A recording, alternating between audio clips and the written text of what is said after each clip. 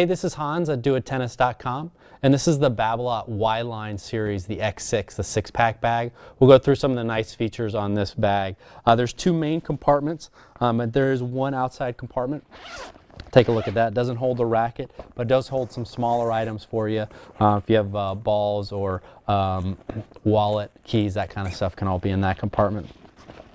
And we'll take a look at the two main compartments. Before we see that, you got a shoulder strap, a little bit longer than normal, which is nice, so you can kind of throw it over your shoulder.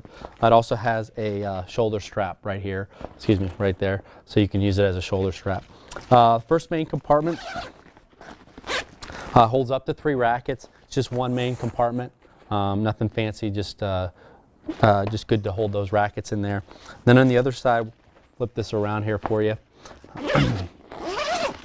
is the second compartment that holds up the three rackets. It also has a nice feature here. It has a uh, Y-line bag uh, for your shoes, uh, which clips in here. you can unclip it right here. Let me do that real quick here. There you go. Kind of keep it separate. Or you can clip it right back in there. Um, but this uh, this Y-Line X6 holds up to six rackets.